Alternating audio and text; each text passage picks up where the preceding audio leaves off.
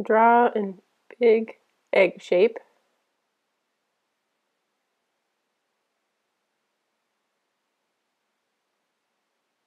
Two big circles for the eyes.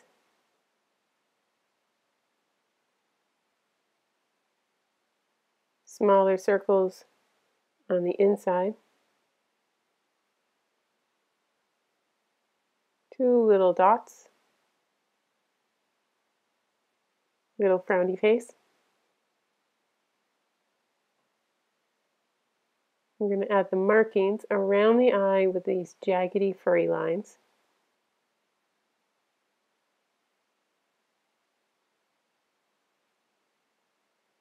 Some more markings below.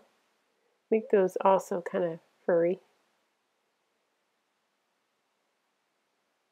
Little wing on one side and then another wing on the other side.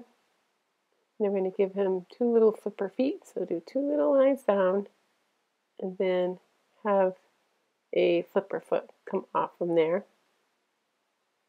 Have them each angle outward.